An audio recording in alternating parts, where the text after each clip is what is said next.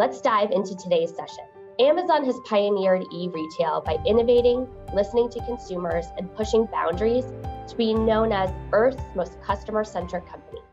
With the acceleration of digital and the constantly changing consumer landscape, how can CPG companies achieve profitability and growth? I'm pleased to introduce Ed Landry, Consumer Markets Transformation Lead with PwC, who will lead a discussion with his colleagues on strategies CPG companies can use to elevate their e-commerce business. Ed, over to you. Thank you, Sarah. Good afternoon, good morning. Thanks for joining today's webinar. It's nice to have everyone with us. Uh, as Sarah said, my name is Ed Landry. I'm a partner from PwC's DC office. I work with senior executives on sales and marketing strategy and transformation and I will be facilitating today's discussion on e-commerce and growth. I'd like to uh, introduce my colleagues, Jeff and Nikki, who will be sharing their expertise on three specific topics uh, today. One around funding for profitability and growth, uh, secondly, around chargebacks and supply chain optimization, and lastly, around better practices for trade and marketing spend. So, uh, Jeff is a managing director out of our Seattle office and the leader of our marketplace practice. He is a former Amazonian and agency owner with extensive experience in leading e-commerce, marketplace, and market and marketing strategy, with a specific focus on um, end-to-end e-commerce and Amazon enablement. So, welcome, Jeff. Uh, Nikki, Nikki is a director out of our Indianapolis office who focuses whose focus is on corporate and business strategy. She is also an Amazon alum as well and has a wide range of experience uh, helping clients develop strategy and capabilities to optimize and accelerate omni-channel sales and marketing. So welcome, Nikki. So we have we've packed a lot into the three topics that we'll cover today. Please send any questions through the chat and we'll we'll try to get to them towards the end of the session. So our first topic is around funding um, and, and growing or restoring profitability. So Nikki, let me start with you. You know, when I hear the word e-commerce, I immediately think of uh, D2C and Amazon as part of the ecosystem for most CPG brands you know, Nikki, I guess the question is, is there more to it? And, um, you know, what is top of mind for you when you hear the phrase? Yeah. First off, Ed, I wanted to say hi to everybody and really excited to be here today. Second off, Jeff and I are both Amazon alums and we go back many, many years. And this is both a, a topic that we're very, very passionate about, especially the last couple of years, right? E commerce has now really become a very big topic um, for CPGs. It's growing rapidly, and I think an increasing, you know, taking an increasingly larger percentage of the business. And also, since e-commerce, right, we're seeing massive channel prolifer- er, proliferation. Um, you know, sort of accompanied with this rapid growth and new and exciting business models. Um, so a result of this, right, as well as sort of trying to manage cost to serve and, and set the foundation for growth, I think it's just becoming more and more complex for CPGs to manage it. So really when I think about restore profitability or drive profitability or you know claw back at profitability, which we hear a lot um, from many of the folks we work with, I think of three main levers that organizations can impact to drive um, profitability. And I think the first thing is SKU and or unit economics. Uh, the second is supply chain operations, and I think everyone you know typically tends to go there first when they're having issues. And the third one, which is becoming increasingly more important, is trade and marketing spend, specifically as we see sort of the boom of retail media marketing. Um, and I think you know we'll cover all three of these topics in more detail. Great, thank you, Nikki. Jeff, what uh, what comes to mind uh, for you on the topic? Uh, thank you, Ed. And as Nikki mentioned, um, her and I actually go back. We worked at Amazon together 10 years ago uh, and have stayed in contact. And here we are together again, bringing the band back together. Uh, super exciting, great topic.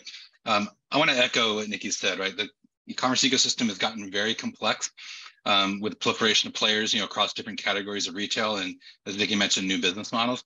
That complexity is putting pressure on getting the fundamentals right, you know, in this in this channel. And so it's across different trade partners and across the totality of the ecosystem, and that requires us to respect the unique nature um, you know, that this channel has, its behavior across these different dimensions.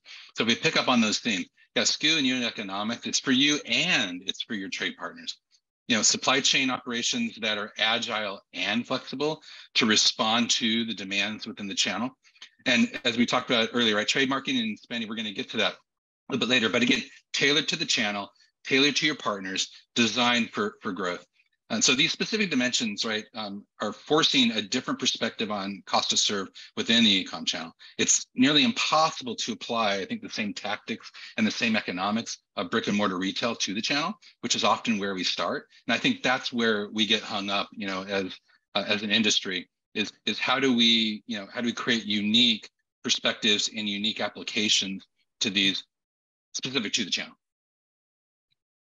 Yeah, and I, I, I certainly see that struggle playing out in the market, and we've all worked with brands to solve it. Nikki, let's talk a little more about unit or or SKU economics. Jeff mentioned that it's important to kind of understand this for both the manufacturers and the trade partners. You know, what should we be considering as inputs to unit economics or SKU economics, and and how should we be thinking about our trade partners in this equation? Yeah, you know, Ed, maybe before I dive into the answer, I just want to point out that few organizations, and we actually kind of look under the hood, are actually, you know, managing or measuring profitability at the SKU level. I think most folks are still sort of sitting and looking at it at the brand level because that's traditionally how we've looked at our P&Ls. Um, the problem here is that e-tailers are looking at it at the SKU level, and so we sort of need to adapt uh, and shift there. Um, so I guess back to your question, right? Why should we care about the unit or SKU economics um, and the profitability of our trade partners? You know, first and most importantly, e-tailers have their own model for how they look at profitability, and it's different across any one major e-tailer. Um, and so before you know you set your unit economics, you need to understand how that partner is going to look at the profitability uh, of their business and really bake um, their profitability requirements into your uh, profitability waterfall. Then, right, then I think you can take a look at your own requirements um, upfront, you know, before we even get into setting a price uh, within the channel. And then understanding both these factors, you can set the right profitability waterfall. Um, that's going to set the foundation for, you know, trade funding and vendor negotiations because we know most of these vendors are going to come back year after year, right, and want more. Um, so we'll give you sort of the margin um, and the foundation to make sure that you know you you can maintain your growth. So we typically refer to that as pure profit margin. Um, and you'll hear Jeff and I, you know, talk about, you know, that term throughout the webinar today. It's also important to remember that you, unit economics for brick and mortar, as Jeff mentioned, are not the same um, as brick and mortar and we really can't treat them that way. So as we start to kind of break down right i'm visualizing my waterfall here which i've drawn so many times uh, you know for various state, you know, clients and stakeholders throughout the years right? Um, we really want to think about you know market retail and then work backwards so that we can actually get a holistic view of what profitability looks like, not only for the brand manufacturer, but for the retail. And then we want to net out to COGS or wholesale from there. So that's going to include all your fixed or non-variable costs um, that you, you know, maybe you can impact, maybe you can reduce those over times by implementing different sort of tactics like moving to drop ship or, or something along those lines.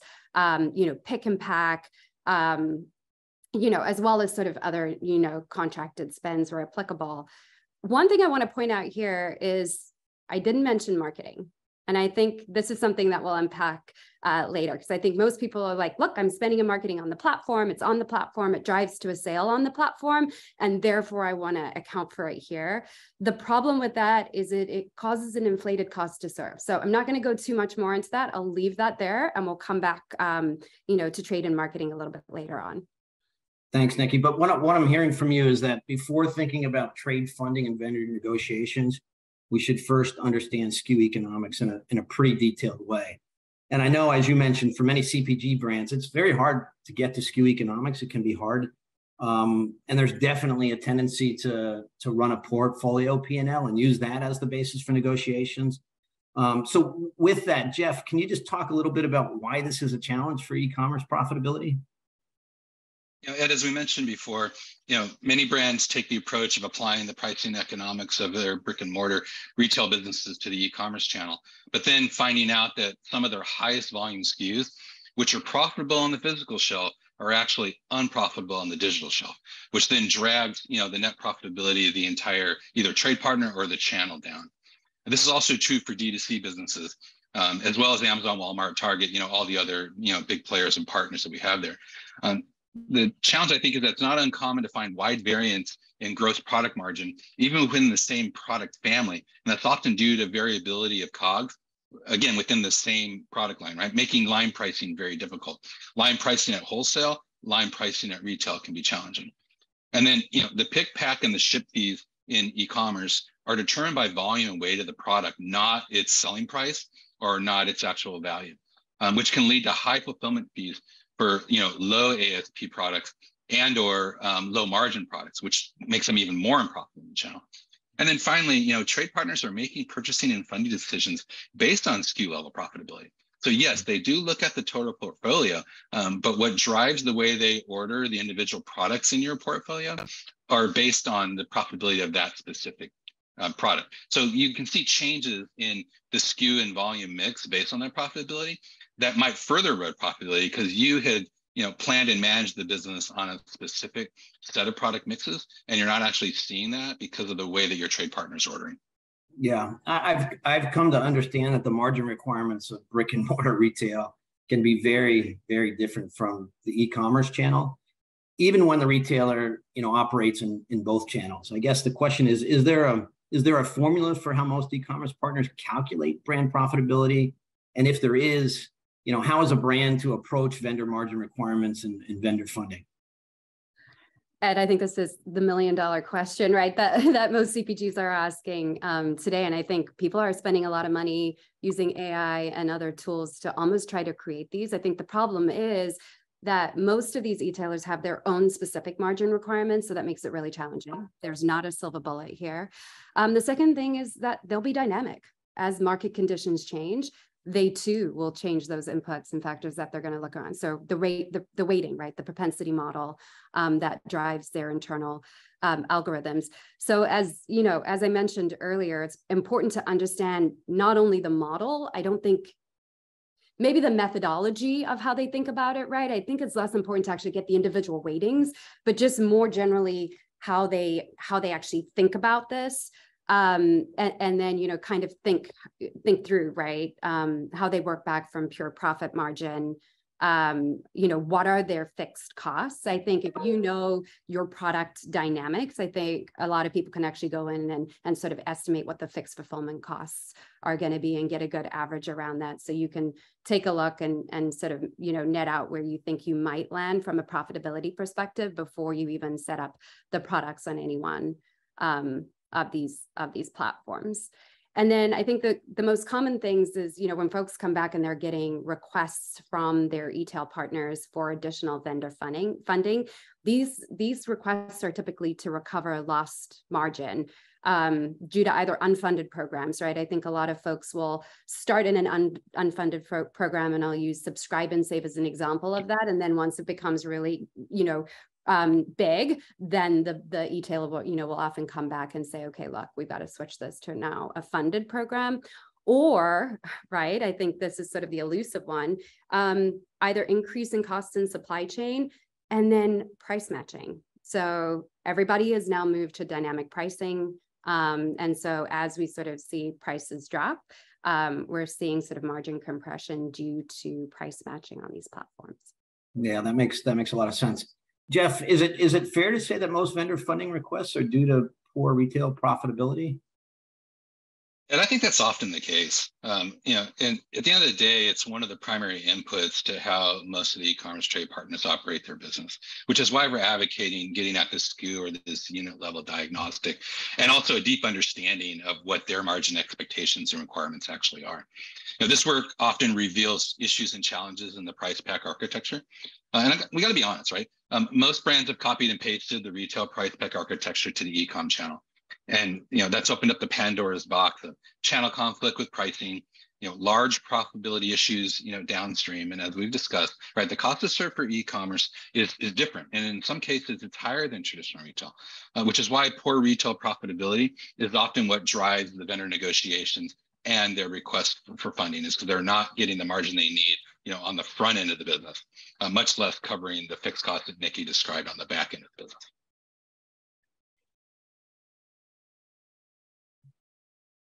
Nikki, any anything to add there?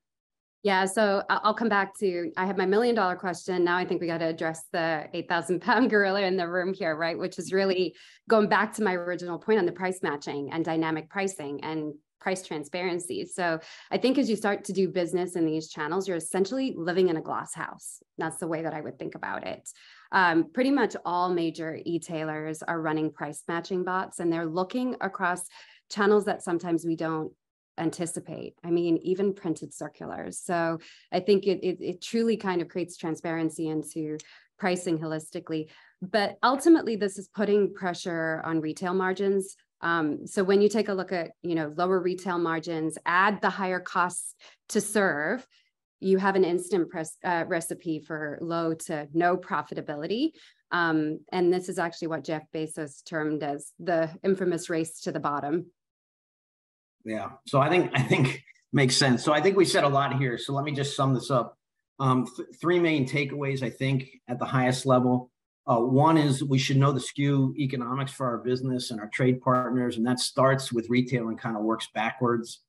Um, secondly, I think I heard we should understand trade partners' margin requirements and how they are calculated. And each each trade partner does it a little bit differently, for sure. And then thirdly, um, we should create a profitable price pack architecture for the channel.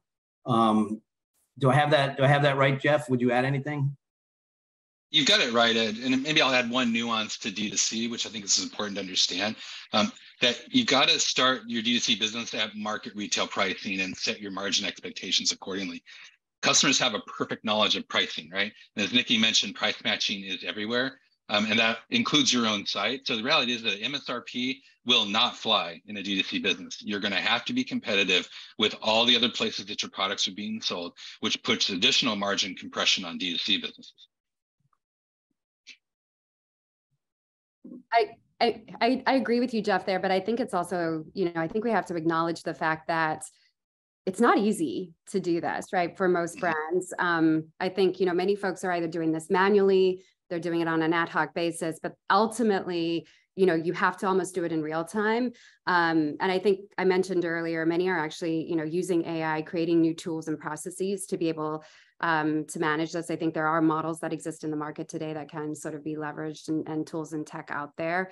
Um, so you don't have to go it alone. You don't have to build it from scratch either. But it's almost becoming sort of a, a table stakes requirement now to be able to get these inputs um, and the data and then know almost instantly what levers to pull in coordination with each other you know? Um, it, it's not good enough to go and say look i'm just going to look at you know supply chain because i'm getting chargebacks and think about how i fix packaging. If i'm not going to look holistically across you know my plethora of levers and and think about the combination and how to pull them um, at the right time.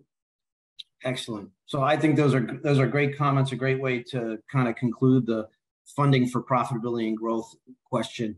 Um, so let's talk about supply chain and logistics. You know, I I personally recently had a client who was experiencing a pretty high level of chargebacks from both e-commerce as well as kind of brick and mortar trade partners. Very frustrating experience for them for sure. You know, and as we all know, this is this is not an uncommon experience, and often you know, but it is often a drain on profitability, and it's also creates headwinds for channel growth. So, Jeff, can you can you talk about what makes the e-commerce supply chain unique for CPG brands? Yeah, I, I really enjoy and love this topic. Uh, I have a geeky fascination with the supply chain in general, but I've spent most of my career focusing on the e-commerce supply chain. Um, and what makes it, I think, unique is we have to start with the last mile delivery experience that we've all, you know, come to know and love. You know, Amazon certainly pioneered it, but everyone has piled on. It's become the table stakes for what we expect as consumers in engaging in this channel. You know, Walmart, Target, Kroger, know, everybody, right? Fast, free delivery. In some cases, same day. In some cases, literally yesterday, I had a delivery within an hour of the time that I placed the order. Um, so to deliver that type of experience um, requires an incredibly agile and efficient infrastructure, as well as very sophisticated forecasting ordering systems on the part of the trade partner which puts then pressure on you know us as vendors to be able to adapt and understand you know how to play in that world. The downstream effects you know on brands are uh, more frequent and often smaller orders to multiple fulfillment centers, um, which you know puts stress on our supply chain. We're used to sending bulk orders, you know, to one or two places, and we're not doing that anymore. And that's compounded by often an opaque forecast from our trade partners. So something they give us great visibility into exactly how they're going to order, when, and where, um, which again puts the burden on us to adapt to that dynamic nature of the forecast. Um, and then, you know, it's a very different experience and expectation, you know, from supplying a distributor or a large scale brick and mortar partner. So most brands struggle to adopt, you know, adapt their logistics processes and systems to meet these new business requirements specific to the e-com channel. No, that makes a lot of sense. Nikki, your thoughts on the topic? Yeah, I think the big thing is just, you know, we're obviously seeing growth everywhere and and for e-tailers specifically and, and retailers um, across the board, you know, they're implementing measures to kind of keep up with that pace and that the need to deliver same day, right?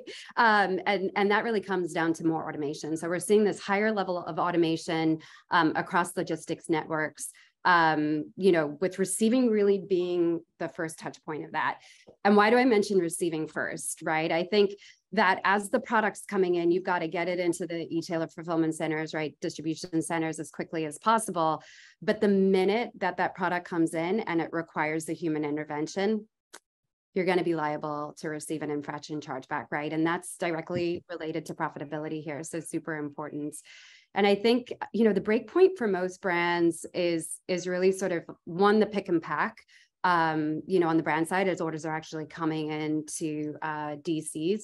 And then the second part is the really stringent labeling requirements um, that are kind of changing, right? I think we, we saw Walmart just changed uh, labeling requirements two months ago. Um, so we're just constantly seeing, you know, these different, you know, sort of labeling requirements, um, you know, coming down down the pipe um, I think, you know, outside of that, what, you know, what folks are sort of, you know, doing there is, is also these shortened, you know, ship windows. And so the ability to get it out very um, quickly and meet these requirements, um, you know they're they're having to change systems and processes because traditional ways of fulfillment are not going to work. So new oms you know warehouse management configurations are going to be required. The requirements are not always easy to understand. I think you know they don't come with sort of a user manual. Um, and then for most retailers it's pretty much 100% self-serve. So i think you know a lot of folks have sort of left felt like they're left navigating um, this space a little bit in in the dark. But i think once you get through it and you get everything set up accurately um, or you get help to do it. I always say don't go it alone. Um, that then it can work pretty well. Yeah, a lot of unique considerations. I guess. I guess the question, Jeff, is so you know, given that, how do CPG brands get ahead of all these requirements, and you know, is there a way to to turn this into some sort of you know competitive advantage, if you will? And I love that phrase competitive advantage because I think that is a real opportunity. I think that's the good news here. I mean, yes, it sounds dire and it can be very challenging, uh, but for brands that can actually get ahead of it and and you know kind of leverage and appreciate the complexity and get good at it, it is a true competitive advantage. So I'll give you a couple of examples. You know, we look at the major trade partners that we've already discussed, you know, Amazon, Walmart, Target, others, right? They all measure supply chain and score supply chain performance, you know, of their vendors. And they use those scores as inputs to determine, among many things, like exactly where and how your products are going to show up on the site and how they're surfaced to customers. So think about supply chain excellence as a seed to better search results, you know, better buy box control, which leads ultimately to, to better sales. Um, they also use those inputs in their preference on who they source from. Because if they they you know can't get a good experience from you, they might turn to one of your distributors you know, to get your products, or give up on your products and turn to a competitive product. Right. So supply chain excellence gives you preference in vendor sourcing, which again can be a competitive advantage um, against those that aren't so good, right? Um, and then maybe the final one is that ultimately this leads to a discussion of how they think about profitability and funding requests on your behalf.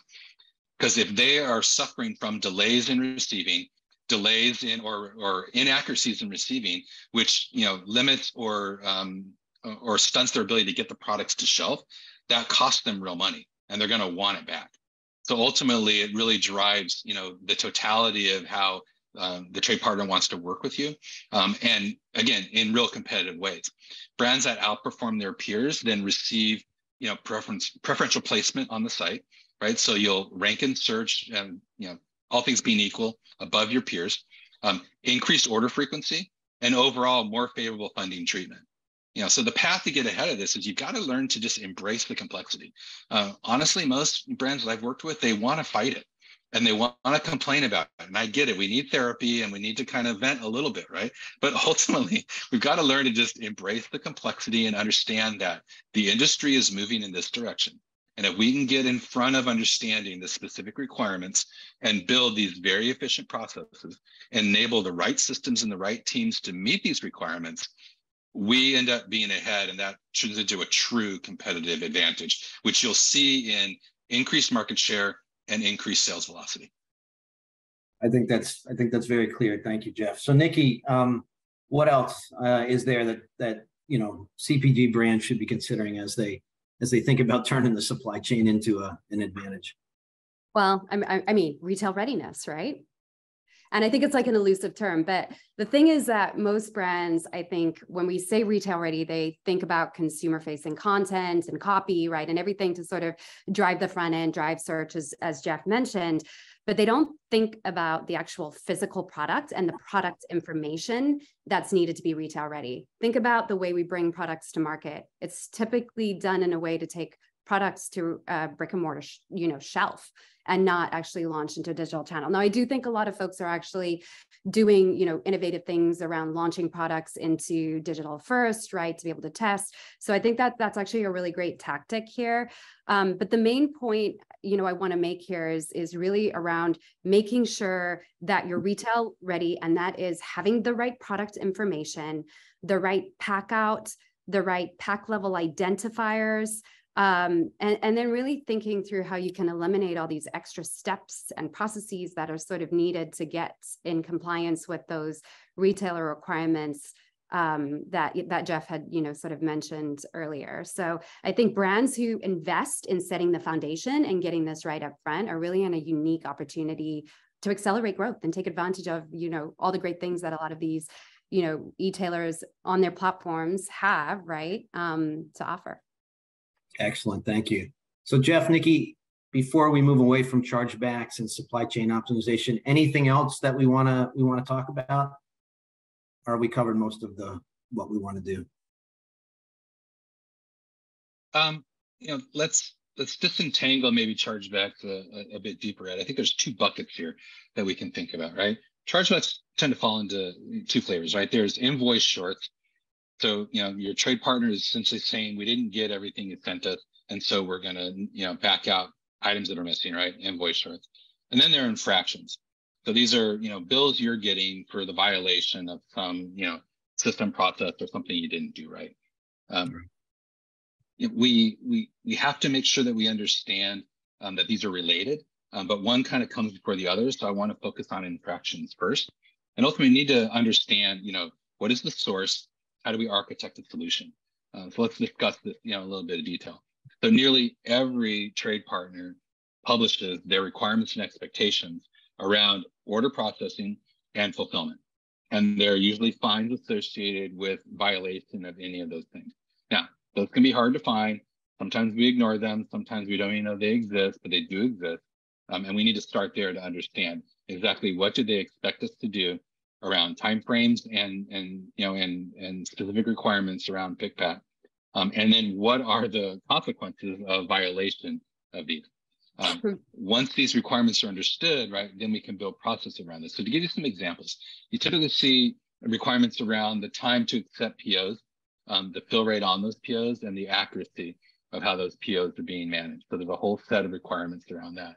And then on the fulfillment and the receiving side, uh, we'll see requirements around um, the timeliness of routing uh, freight, if that's something that, that needs to be done, either your internal network or your trade partners network. Uh, you'll see requirements around freight ready. You'll see requirements around receiving accuracy and all around the pick, pack, and the labeling uh, of those orders. Um, so the first step is that, that we recommend is to you know, clearly understand you know, what these are. So when you go to a root cause analysis, you can identify where the failure points are. Um, so usually it's going to be around the missing of a timeline or the failure, you know, to meet a specific performance step or procedure. Um, and we often find that the teams that are tasked to manage chargebacks are not the teams that are actually doing the work. Um, and that can be one point of failure or one point of disconnect in, in how to get it managed and how to eliminate it. Um, is that if you've got finance folks that are trying to troubleshoot chargebacks, um, those are not the operational folks that typically are the reason why your chargebacks are happening in the first place. So getting the right people to be looking at it is really important and aligning those teams around what are the expectations around their specific job functions, making sure that you've got processes designed to meet those requirements and you've got checkpoints along those processes so that you know when things are not happening well or things are falling apart. Um, we recommend an approach, you know, that starts with creating again a process around chargeback management. Uh, so it starts with a clear understanding of the requirements and the expectations of your trade partner, knowledge of how to understand the chargeback documentation. So someone needs to be able to determine, hey, we just got this invoice and it's got, you know, $50,000 with the fees on it. And there's, you know, a hundred rows of entries on this document. How do you disentangle that and understand where to send it within the organization to try to troubleshoot? And then that final step is validating performance along the way, not waiting for the chargeback to occur, but have in-process validation so that you know that you're you're following your own processes, identifying failure points if they come up, and that can be magnified through getting a chargeback, um, and then mapping the corrective path forward. So it's kind of a continuous improvement loop of constantly looking at what process do we have, how are we engaged with those processes, looking for feedback from you know your trade partners, and they will give you feedback on how you're doing, independent of getting chargebacks. Almost all of them have a dashboard that reports your performance metrics along these areas. So you can see up front where you're starting to have difficulty before you get into a chargeback situation. And then finally, you know, what is the remediation path when you do have these problems? There are actual instances where the chargeback is not valid. Um, and so you also need to have a process for dispute. Um, and again, understanding the exact requirements of what your trade partner is going to demand from you from the standpoint of documentation and proof will help get um, the um, dispute process you know, well-oiled and efficient. Um, it tends to be a lot of back and forth. Um, and there is conspiracy theories that say that the trade partners use the chargebacks as a way to backstop margin. I don't particularly buy into that conspiracy theory, but I will say that the mechanisms that they give us to work with them are very primitive and feel like it's intentional.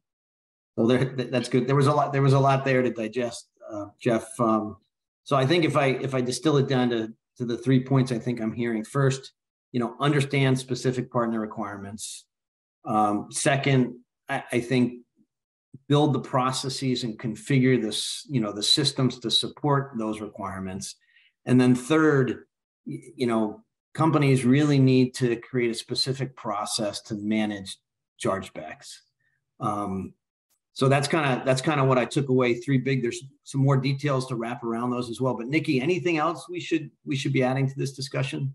I mean, we we could have a whole webinar on this discussion, Ed, right? but but I think I want to just take you know this idea of retail readiness that I you know mentioned earlier and kind of come back to it, but then add on retail readiness includes the right process, right? So I think we do need to really think end to end what the optimized you know processes and so if we kind of go back and summarize, right, what Jeff had mentioned, there's really chargebacks are really caused by two types of issues.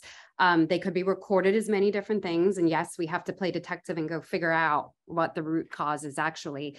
But essentially, it really boil, boils down to issues with incorrect data or product information or how that information is being transferred from system to system to person. I think the other thing is just human error, right? And it's really because of band-aided product, brand-aided process, um, or just you know complexity that we've created trying to you know take a process that was intended for something else and apply it um, to this type uh, you know, of environment. So I think if we can simplify that, it maybe makes it easy. One, we'll have less chargebacks to deal with. And when we do, we have a process to deal with it um, and and less time spent right? Trying to get to sort of the root cause um, you know of of how these things are created. I think the other thing i wanted to add here just around retail readiness is a topic that we hear i'd be remiss if i didn't say it that come up all the time around packaging right? And it's really around inners. If i, I get the question all the time. We're getting chargebacks you know it's around you know, problem receive around inners, right? We know it's inners. What should we do? We've done this. We've done this with labeling. We've done all this stuff. There really isn't a silver bullet for this one, right? Especially when we're getting to belly bands and some of these other complexities. And so I think the simple rule of thumb here is design your product and your package the way you want to sell it. So if you're not planning to sell an in a carton, don't include an in a carton. I know that's always easier said than done, um, but I think if you know you are looking for sort of the silver bullet, then simplify, simplify the process and simplify the packaging for the channel. Okay, that's great. I think that all makes sense. Um, one last question on supply chain for both of you. Um, what are we seeing or hearing with regard to future proofing the e-commerce supply chain? Jeff, maybe we start with you. And I, I see a lot of trends, but there's one that I'm particularly fixated on right now um, that I'll, I'll, I'll, I'll use to answer your question. Um, and that's really the, the prevalence of omni-channel. I feel like that we're, we're, we're going back in time and pulling it forward, right? Omnichannel had a moment and now it's kind of resurfacing again, but maybe this time it's for real. Um, and the, the reason that I'm picking on omnichannel is that it is putting tremendous stress on you know two components of the supply chain. So let's think about what omnichannel is doing, right? Customers are demanding it. They want to be able to interact um, in different ways with products and with retailers. And so, you know, think about the proliferation of the Instacarts and the DoorDashes of the world. Um, think about, you know, BOPUS and what's that doing in terms of putting additional demand on in-store inventory stock levels. Those models are rarely forecasted, if even able to be forecasted, into the supply model of brick and mortar retail. Um, but they tend to originate in e-commerce, right? And then the the demand flows through to, to brick and mortar. So we're seeing kind of this convergence of you know inventory management, order management, and forecasting um, driven by the prevalence of you know omnichannel, which everybody wants. Um, so you know stress on forecasting, stress on fulfillment across all sales channels. So I think the real opportunity for future proofing of the supply chain, or one, because uh, I know Nikki has another one, um, and they're not mutually exclusive, right? I mean, you can invest everywhere. Um, but my avocation is spend some time and energy thinking about what does dynamic forecasting mean to you and your organization across all channels. Uh, that could be a great area for CPG investment that will, again, lead to future proofing of the supply chain because it will inform changes you know, all downstream.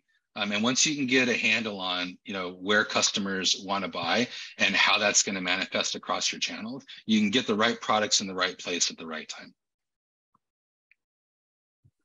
Yeah, so I, th- I think my my point is going to be really around that the right product part component, Jeff. Right. So I think mm-hmm. you know we mentioned earlier we're not we're not seeing the automation in warehouses slowing down any anytime soon. Right. I think they're actually more and more of these retailers are productizing their offerings in this space, and it's sort of proliferating through pretty much all of retail. So I think it's going to become the norm um, for everybody as as you know all the big players are pretty much running autonomous autonomous infrastructures at this point and so what, what does that mean for CPG players, right? I think a big area of investment going forward is really going to be around retail ready packaging and pack out um, and really thinking through the process, right, of how you're going to manage with, without creating SKU proliferation, right? But I do think it's looking at your channels holistically and then determining where is the right product in the right pack out, right, with the right information um, to boot, right, to kind of get it right going forward.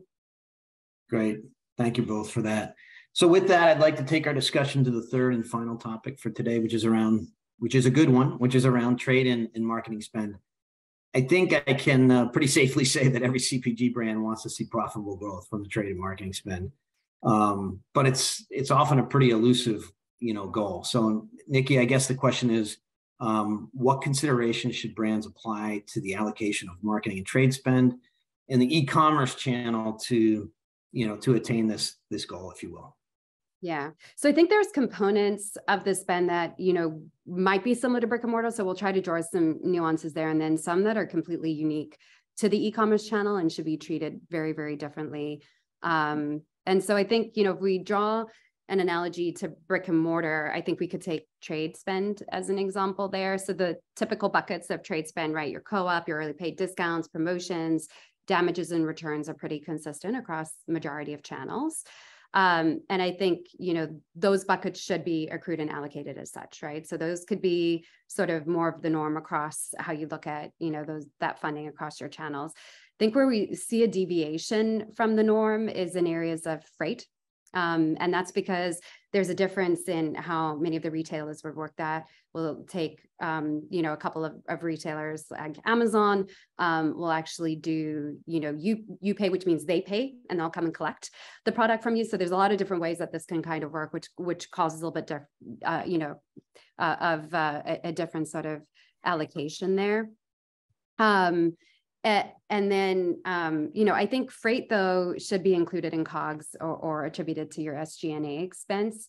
Um, but I think where it gets a little bit different and more interesting is in some of the vendor programs like subscribe and save, merchandising placements, and advertising, especially as more of these retailers are launching into retail media platforms as well. Um, so I, I think though, you know, most brand manufacturers are starting to realize that these um, marketing activities are actually investments and should be treated that way. I think brand marketers are starting to allocate budgets very wisely um, to these types of spends. So it's either shopper marketing or retail media marketing versus allocating them to your cost to serve. Because as I mentioned earlier, this is going to create an inflated cost to serve. And I think a lot of people, when they're actually looking at some of these channels before, they're saying, gosh, it's so unprofitable. But when you actually unpack it, you know, then I think you can actually get down to the true drivers, um, you know, or, or, issues, right, that are are causing, um, you know, issues within profitability. Um, so I think another consideration here is when allocating and sort of applying the media mix, we want to be able to take a holistic view across it. So when we kind of move it over to that bucket, then we can actually take a look at all of these investments, you know, subscribe and save, merchandising, advertising, you know, with the broader marketing mix model and take a look at performance and then we can reallocate and kind of shift spend according to performance versus sort of looking at it in a very siloed methodology. I, think that's really interesting. Is it is it um, too much to say that you're recommending a couple things? First, it sounds like spend on Amazon, subscribe and save, and then secondly, um, merchandising and advertising should be you know allocated, budgeted, measured, optimized through through marketing, not the account. Yeah, I mean, absolutely, Ed. And if if you're a CPG brand that has a product that fits the subscribe and save model, that is somewhere something that you should be doubling down on. Absolutely. Excellent. So so let's let's take take on the topic of performance of these investments and the measurement of them because we have always have lots of questions about that. Uh, Jeff, I keep hearing about you know return on ad spend and total advertising you know advertising cost of sales as the gold standards, if you will, for for marketing investments on Amazon, Walmart, even other retail media networks. So, where are your thoughts on on the measurement of marketing and, and advertising spend? And, you know, these measures, while interesting, right, are like super high level, um, high level, you know, of, of indexing performance, right? But I, I don't think they're actually very useful. In fact, I think they're insufficient uh, to be useful in directing and the use and the optimization of very specific, you know, tactics to actually drive incremental growth.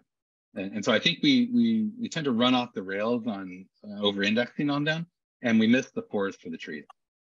Where I think there's real opportunity you know, to drive true incremental and profitable growth um, in, you know, in this channel um, starts with where we started our discussion today, right? If we apply the, the lens of SKU and unit economics, that gives us a clear understanding of where we should be making investments to begin with. Because it's, you know, clearly, you know, not profitable to advertise on a non-profitable item, right? We're just kind of digging the hole even deeper. But it's shocking how many brands actually do this because they don't understand fewer unit economics. So maybe that's the, the first thing that we do. Let's re-index how we think about the totality of the application of, of marketing and advertising dollars and maybe do it from the bottom up, right? So we start at the SKU level and, and we work ourselves up. Um, you know, we need to focus these investments on incremental growth. And to do that, I, I advocate um, that we apply a cost per acquisition and a conversion rate model to the marketing and advertising investments that we're making at the SKU level. So let me unpack that just a little bit. Um, you know, if you know the lifetime value of a customer for a very specific product in your portfolio, you could then set a budget for what you'd be willing to pay to acquire that new customer. right, based on the profit that you'd make on that customer. So that that value, right, becomes the target for your cost per acquisition budget. Maybe that's the upper bound of it. Using that as your budget guardrail, and then applying a rigorous filter of conversion um, against not only the tactics that you're using, but the products that you're going to be advertising against, um, that yields the most efficient and the most truly incremental spend that you can possibly deploy. Uh, so I'm slightly oversimplifying this, but actually not by much. Um, this is a little bit of math geek work, right? But it can be done and it is being done today uh, by some of the more progressive, you know, brand marketers. Um, but the most meaningful measures in my mind um, are measures that drive specific behavior in support of very specific outcomes, which is why I kind of land on cost acquisition and conversion rate, because they do exactly that. Yeah. If you laser focus on the calculation of those values and the tracking of those values across your products and your tactics, uh, you will get exactly what you're looking for. Um, notice that I didn't mention ROAS or TACoS, right, in any of that discussion. Again, I think those might be useful at the, at the highest level, um, but those can be gamified in ways that don't actually lead to incrementality. And, and I see that behavior, you know, across the board. I won't mention names, but it, it's very easy uh, to get a ROAS that you want without actually delivering any real value in the activities that are underneath it. Uh, and so that's why I don't particularly care for those, those measures. Um, I believe again in outputs, right? Um, and ROAS and TACoS are outputs; they're not inputs. The inputs should be CPA and CR, you know, um, cost per acquisition and conversion. There are other things. I'm not saying ignore other stuff. I'm just saying that if you laser focus on the things that matter um, as inputs, you will get the outputs that you're looking for. Yeah, that's very interesting, though. So let me put this in terms of a hypothetical. If I knew I could make a hundred dollars, you know, of profit on each new customer for product, you know, product A, if you will, and I was yeah. willing to spend, say, twenty dollars to get, you know, each new customer, you're you are recommending that I use the twenty dollars as an input to my marketing and advertising, and optimize the tactics and and products for conversion. Is that right? Yeah. That, that's exactly right. And I'll, I'll, I'll add on this a little bit, right?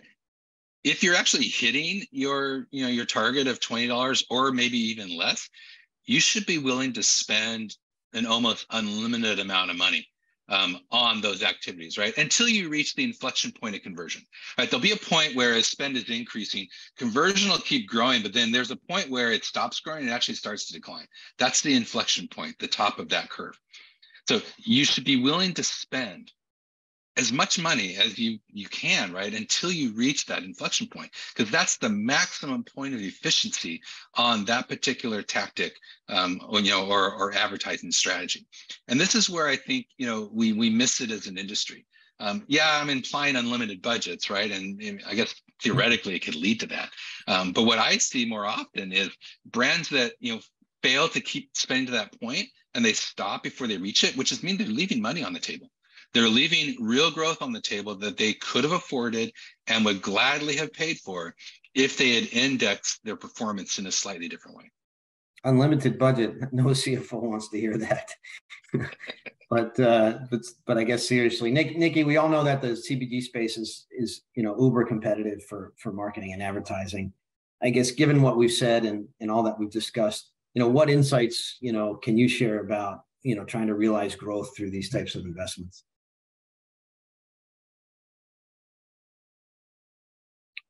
i think you're on mute. I i got go. there you go. All right. Yeah. Um you're right. It, it's becoming, you know, a more saturated and more competitive space. Um, like we mentioned earlier, especially with sort of the proliferation of retail media um, and everyone trying to jump on that bandwagon for all the obvious reasons. But I do think that there's still opportunities out there for brands that have the right methodology and approach to this.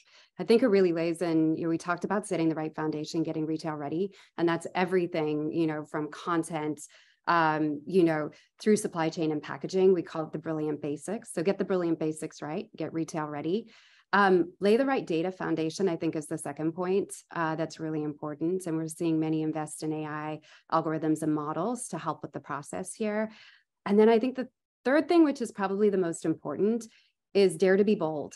Uh, so try things, experiment. Um, fail fast um, you know partner with you know your your retail partners um, strategically. Um, maybe that's a topic for another webinar at some point but I, I think if you kind of do all three of those things obviously in the right mix and maybe we're oversimplifying a little bit i think you can stand out in the crowded space. There's still opportunities um, for brands out there to to win and differentiate. Wow. Well we've we've covered a lot today. I think um, nikki and jeff thank you so much for your time and insights. I would be remiss if I didn't mention that, you know, both of you support CPG brands, you know, with all of the things that we've discussed today and, you know, would be happy to chat with anyone, you know, about specific challenges. Um, and I guess lastly, just a big thank you to the Consumer Brands Association um, for hosting this today. And with that, let me go ahead and turn it back to Sarah. Sounds great. Ed and Jeff and Nikki, thank you so much for, for joining us today. So this is the Q&A portion of today's session. Um, as you said earlier, if you do have a question, uh, please go ahead and put it in the Q&A chat function, which is located at the bottom of your screen. Um, I'll start off by, by asking one question. And um, so you worked with brands and going back to the first topic that we covered, sort of balancing that transparency and pricing between the, the e-commerce platforms and some of the brick and mortars. Um, are, are there just are there companies that are doing that right? Are there categories? You know, we, work with CPG companies across the board, from food and beverage to household and personal care, um, and there's always some unique challenges depending on what that end product is. So, just your opinions on, you know, is it easier in one realm or the other, or is there a certain sector that does that better than than others? Uh, Sarah, maybe I'll, I'll start this conversation. I know Nikki will will will add additional clarity. Um, I do think there are folks that are doing this better than others, but I think it's more the approach than is it category specific or you know or whatever. And so the approach that we're seeing that's most effective is really starting from you know across all channels, you know pricing in market to your trade partners, and really relying on a unified pricing strategy, and taking you know a lot of the incentives that typically show up as off invoice and turning those into more MDF type funding mechanisms so that you kind of level the playing field, right? Where every trade partner is getting, you know, same price in market and they're getting specific funding that is unique to the tools and capabilities that they offer you as a brand, you know, to drive growth. Um, and that, that it's hard to do, right? It requires kind of a, a either a very slow and thoughtful approach or a scorched earth approach to reset pricing and market. So I, am acknowledging this is very difficult, but those that are doing it, and some have, are seeing you know it, it level pricing at retail. So they get very stable pricing at retail. And more importantly, their investments are actually working to drive real growth, not just disappearing into the coffers of retail profitability, which you know is important. But let's be honest, right? If we're going to put money in market, we want to see it grow the brand. And the only way you can do that is by investing in things that actually have proven ability to grow the brand. Nikki, what, what would you add to that? I mean, I actually think it's it's kind of table stakes now. I know we're seeing brands do it, but I would say there's more urgency around it than ever, right? Especially on these platforms where you see retail arbitrage, right? And so I think if you want to build that brand protection, you really have to look across your channels, and that's into B2B as well. Really, any avenue where your product um, can surface and think through your distribution models. And I think that's actually the hardest thing is actually going sometimes to your distribution contracts or other things and having to take a look at those and say, wow, what would that look like if that product showed up over here, right? Or doing the analysis to say, how is that product showing up over there, right? have I not the, have I not got the unit economics right somewhere else? And and that's a big issue with profitability. Not not to belabor it, but a lot of times when we dive into what's causing the price matching, it's where's that product coming from? And you'd be surprised right where it's coming from. It's file sales in a different channel that end up you know making its way um, you know into e-tail. Super helpful. Thank you.